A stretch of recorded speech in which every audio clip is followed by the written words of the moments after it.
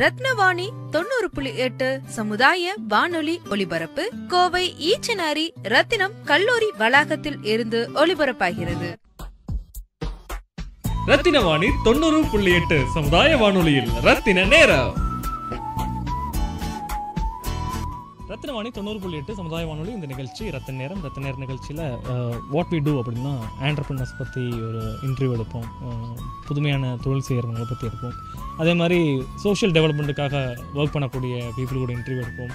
Students கூட பேசுவோம் professors கூட பேசுவோம் கோர்ஸ் டெவலப்மெண்ட் எஜுகேஷன் நிறைய விஷயங்கள் இருந்தால் கூட எப்பவுமே இந்த சினிமா ஃபோட்டோகிராஃபி அப்புறம் மீடியா ரிலவெண்டான விஷயங்கள் சொல்லும்போது எல்லாருக்குமே ஒரு இந்த மாஸ்க் கார்ட்டனில் வர மாதிரி கண்ணு வெளியே போயிட்டு உள்ளே வரும். அது மாதிரி ஃபீல் எல்லாருக்குமே இருக்கும். ஸோ அந்த வகையில் இன்றைக்கி வந்து மீடியாவில் பட்டிங் ஆர்டிஸ்ட் நிறைய பேர் கூட ஹேவிங் லைக் ஒரு டிஃப்ரெண்ட்டான இன்டர்வியூ செக்ஷன் எப்படி மீடியாவில் ஒரு கோயம்புத்தூர் பர்சனாலிட்டி இந்த காலகட்டத்தில் அதாவது இவ்வளோ மீடியா இருக்குது யூடியூப் இருக்குது ஃபேஸ்புக் இருக்குது வாட்ஸ்அப் இருக்குது சின்ன சின்ன விஷயங்களும் கூட நிறைய லைக்ஸு கிடைக்கும். அதே நேரத்தில் ட்ராபேக்ஸு கமெண்ட்ஸ்லாம் இருக்கும். இதெல்லாம் தாண்டி எப்படி ஒரு இண்டிவிஜுவல் ஒரு கோயம்புத்தூர் சிட்டிசனால் இன்னி இன்றைக்கி இருக்கக்கூடிய காலகட்டத்தில் எவ்வளோ பெரிய பர்சனாலிட்டி வர முடியும் என்பதை பற்றி பார்க்க போகிறோம் அந்த வகையில் இன்றைக்கி வந்து ஹர்ஷாவும் ஆனந்த் so அவருடைய ஃப்ரெண்ட்ஷிப் பற்றியும் அதே மாதிரி அவங்களுடைய பயணம் பற்றியும் அவருடைய கலை பயணம் பற்றியும் நிறைய விஷயங்கள் பேசலாம். அதுக்கு முன்னாடி ஹர்ஷாவுக்கு ஒரு நல்ல வணக்கம் சொல்லுவோம். பார்க்குறக்கு எப்படி இருக்காருன்னு நம்ம சொல்லலாம். ஏன்னா நீங்கள் ஃபோட்டோ பார்ப்பீங்க. பட் இருந்தாலும் ரேடியோவில் கேட்குறவங்க நிறைய பேர் இருக்காங்க இல்லையா? ரேடியோ ரேடியோ கலாச்சாரத்துக்கு வந்து க்ரியேட்டிவிட்டி ரொம்ப ஜாஸ்தி சொல்லுவாங்க.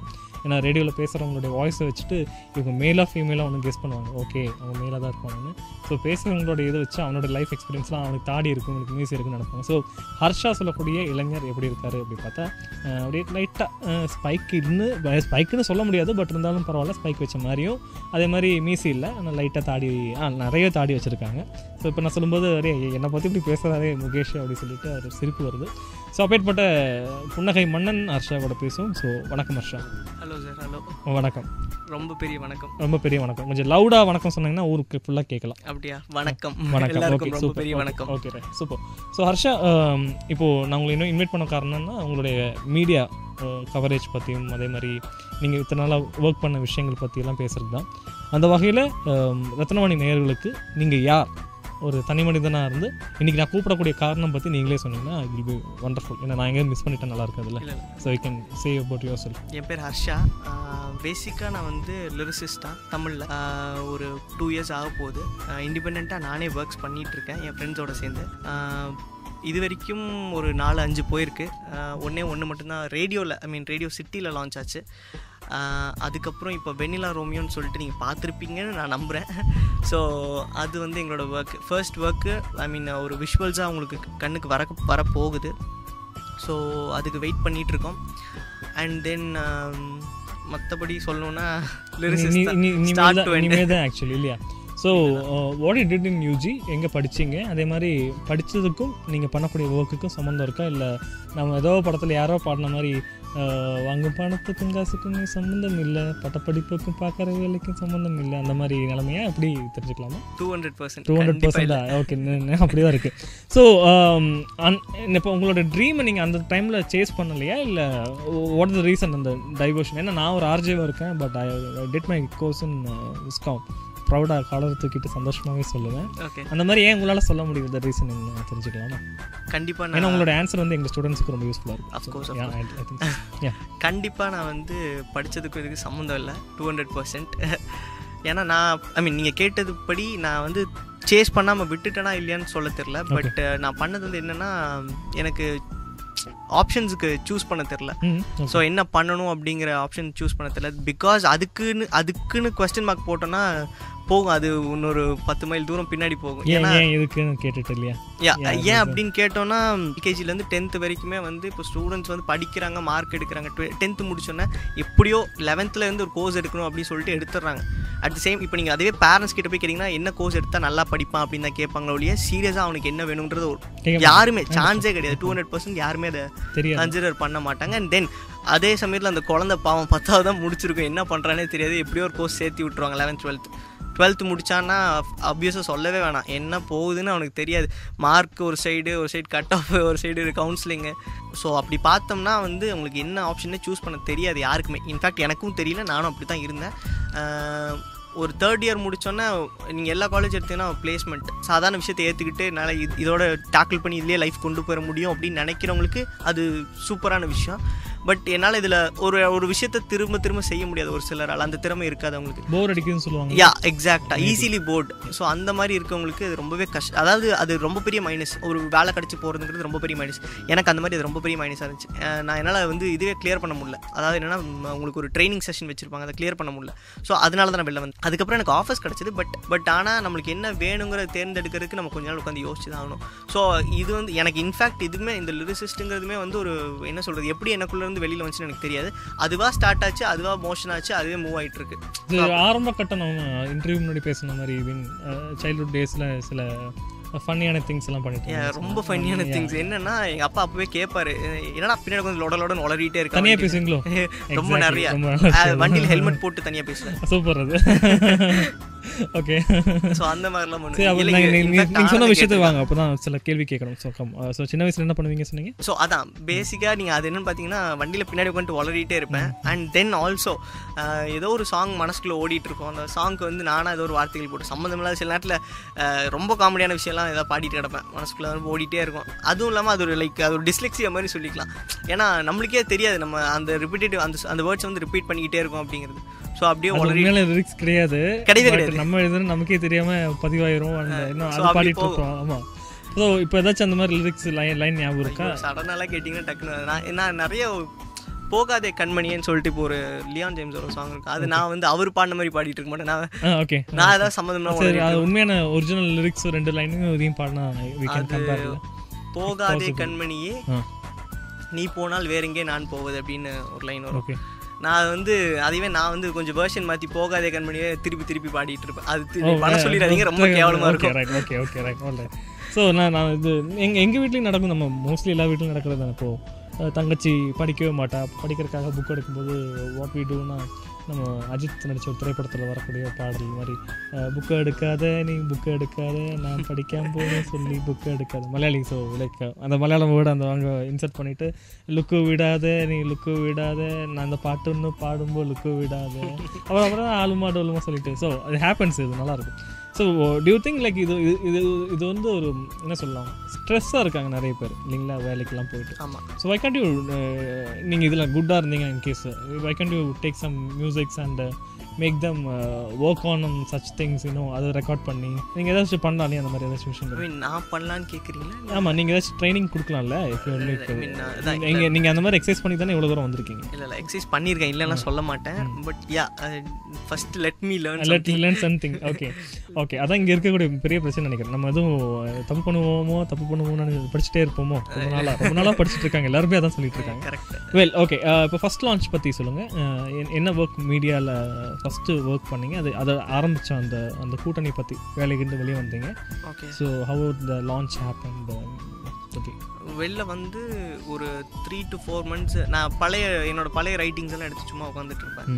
அப்புறம் நான் தான் எழுதுனா அது நான் தான் எழுதுனேனா அப்படிங்கிற ஒரு கொஸ்டின் போட்டு ஆக்சுவலாக அந்த டைமில் வந்து அப்போ தான் ஒன்று எழுதினேன் பொன்மாலை செவ்வானம் சொல்லிட்டு. சும்மா ஒரு ஏதோ ஒன்று எழுதுவோமே லவ் பேஸ்டாக எல்லாருமே அஃப்கோர்ஸ் எல்லா ஒரு லிரிசிஸ்டன் லிரிசிஸ்டன் இல்லை எல்லா ஒரு கவிஞரும் எந்த ஒரு எழுத்தாளருமே வந்து லவ்ன்ற ஒரு டச் பண்ணான்னு போன ஆளே கிடையாது. ஸோ அப்படி சும்மா எழுதணும் அப்படி சொல்லி எழுதுனது எனக்கு கடலை மிட்டாயின்ற ஒரு டேர்ம் ரொம்ப பிடிக்கும். ஸோ அதனால அந்த டேர்ம் வச்சு ஏதோ ஒன்று பாட்டில் ஏதோ ஒன்று இன்சர்ட் பண்ணணும் அப்படி சொல்லி எழுதி அப்படி ஸ்டார்ட் பண்ணது அது. அப்படியே எழுதினேன் தென் அது எட்வின் தாஸ்னு சொல்லிட்டு ஒரு கம்போசர் இருக்கார் கோயம்புத்தூர்ல. அவர் வந்து பண்ணியிருக்காரு. இப்போ காரான்னு ஒரு படம் வந்து ஸோ அதுல கூட அவர் ஒர்க் பண்ணியிருக்காரு.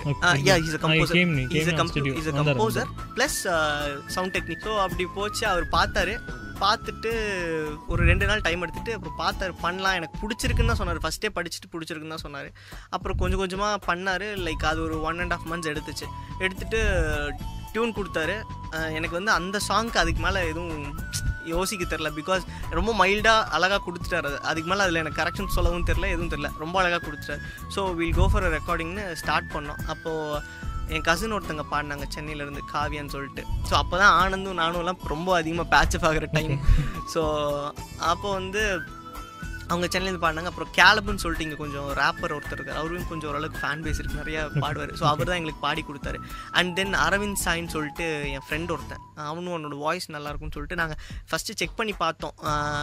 எட்வின் தாஸை வச்சு. பாடலாம் ப்ரோ நல்லாயிருக்கும் அப்படின்னு. சரி அப்போது அவரை வச்சு பாடினோம்.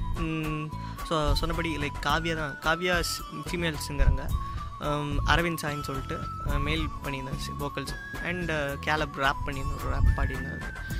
அண்ட் தான் அந்த சாங் முடிஞ்சு அது ரேடியோ சீட்டில் டோங்ரி டேவிட் இருக்காரு. அவர் பண்ணி கொடுத்தாரு.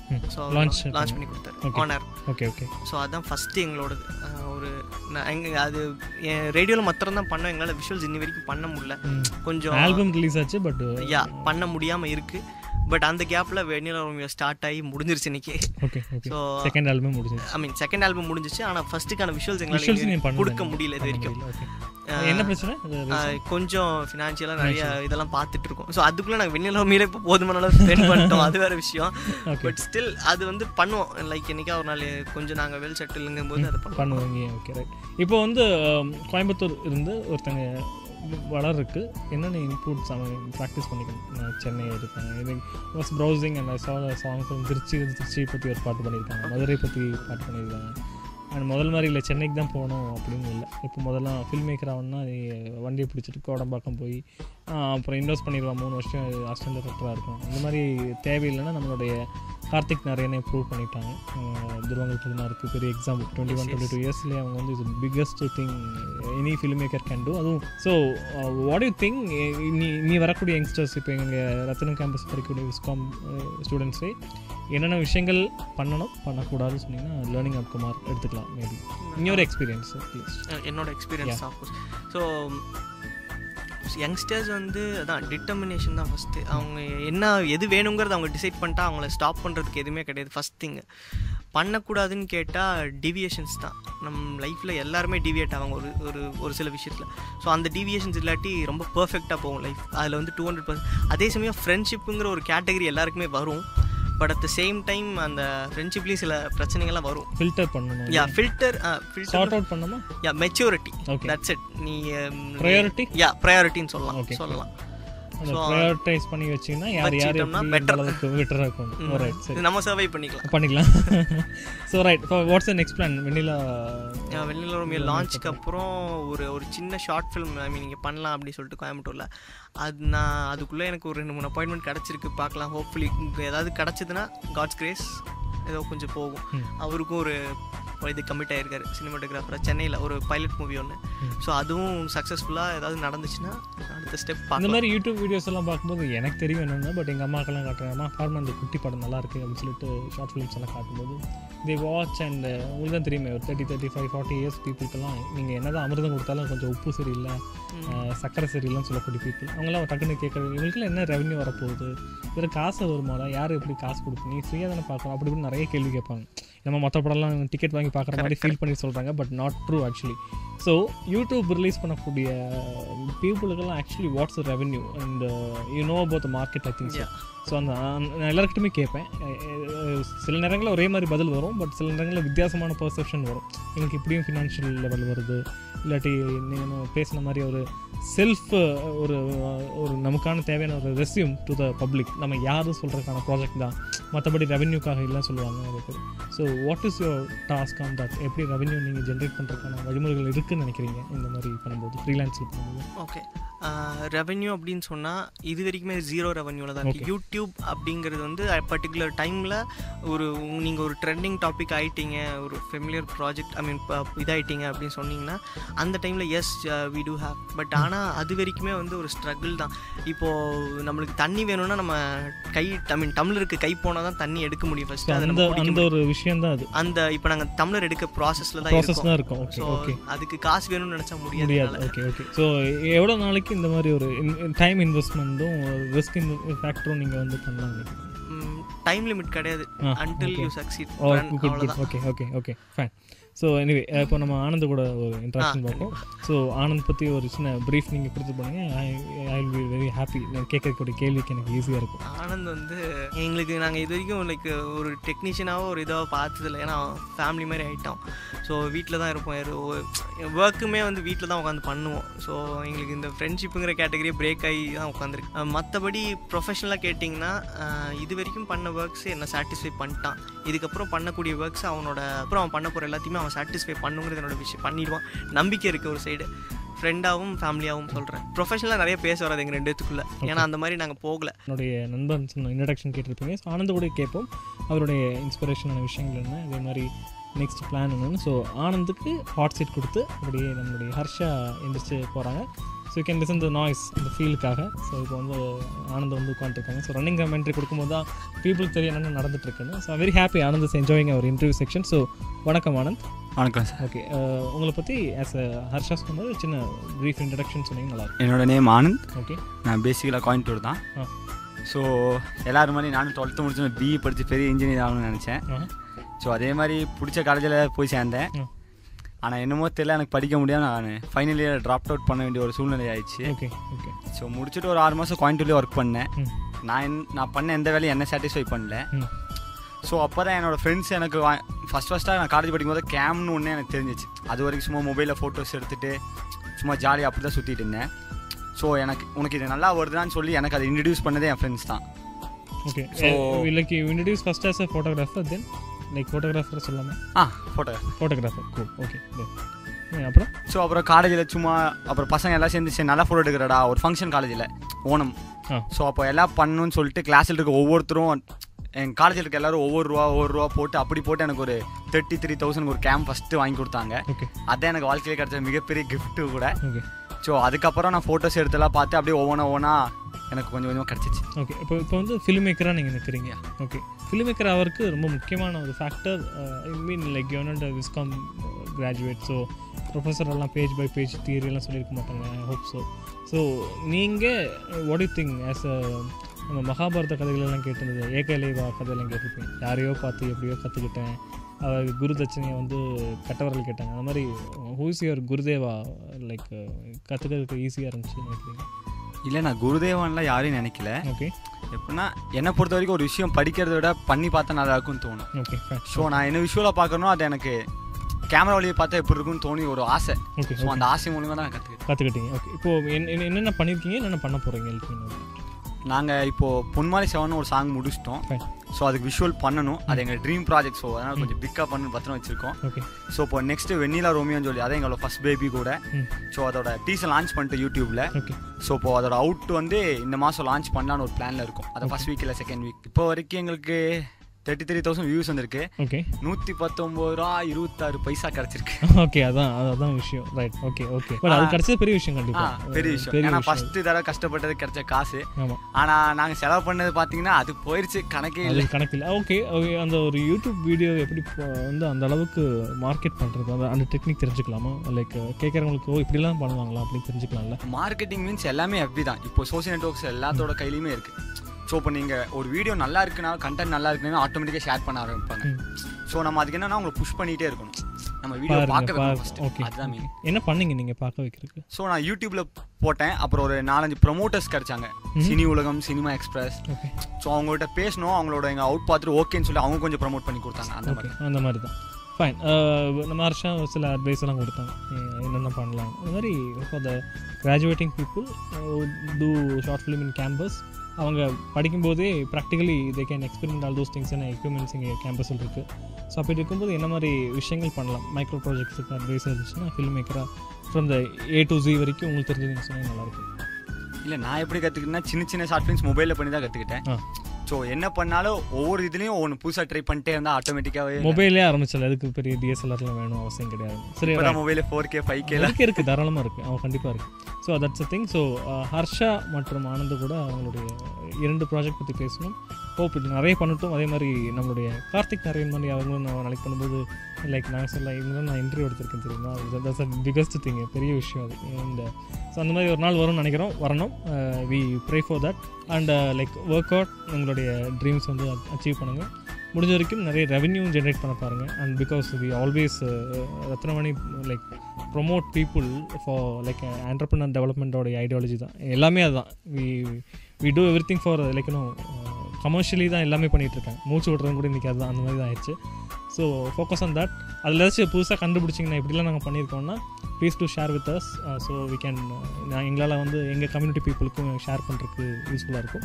ஸோ இவ்வளோ தூரம் எங்களை தேடி வந்ததுக்கு ரொம்ப நன்றி. அண்ட் தேங்க்யூ ஸோ மச் உங்கள் சாங்ஸும் ஷேர் பண்ணுங்கள் so we can brand mutually நாங்கள் நிறைய பேருக்கு தேங்க் பண்ணணும்னு ஆசைப்பட்றோம். எல்லா ஸ்டேஜ்லையுமே கூட இருந்தாங்க. நான் இப்பயும் இருக்காங்க இனிமேல் இருப்பாங்க கண்டிப்பாகவே சொல்லுவாங்க யாருன்னு கேட்டிங்கன்னா அண்ணா ரெண்டு பேர். ஐ மீன் பேரண்ட்ஸை தாண்டி எப்பயுமே பேரண்ட்ஸ் நான் ஒரு கேட்டகரியில் வைக்க மாட்டேன். ஏன்னா வந்து அவங்க டிஃபால்ட்டாக கூடயே தான் இருப்பாங்க. ஸோ அவங்கள தாண்டி யாராவது ஹெல்ப் பண்ணணுன்னா அது ரொம்ப பெரிய விஷயம். ஸோ அப்படி பார்க்கும்போது எங்கள் அண்ணா ரெண்டு பேர். ஐ மீன் நாலு பேர் ஆக்சுவலாக மௌலினா ராஜுனா அப்புறம் தினேஷனா மனோஜனா. மனோஜ் ஆக்சுவலாக அவர் பாலிமரில் விஜயவாக இருக்கு. தினேஷ்னா ஒரு ஃபீச்சர் ப்ராஜெக்ட்ஸ் ரெண்டு ஒர்க் பண்ணார். இந்த படம். அஹ், மூடக்குடமன் யாரிட மகேஷில் ஒர்க் பண்ணார். ஸோ அவர் வந்து இப்போது எங்களோட தான் ஒர்க் பண்ணிட்டு இருக்காரு ஸோ இவங்க எல்லாருக்குமே ரொம்ப தேங்க்ஸ் இதை தாண்டி நாங்கள் தேங்க்ஸ்லாம் ஃப்ரெண்ட்ஸ் லிஸ்ட் இருக்குது அது ஒரு ரெண்டு நாள் லிஸ்ட்டு போவோம் ஸோ எல்லாருக்குமே தேங்க்ஸ் வேறு ஏதாவது so thank you so much for listening to us understand பண்ணலாம் so thank you Harsha thank you Anand have a great great beginning for all your success bye Thank you. Thank you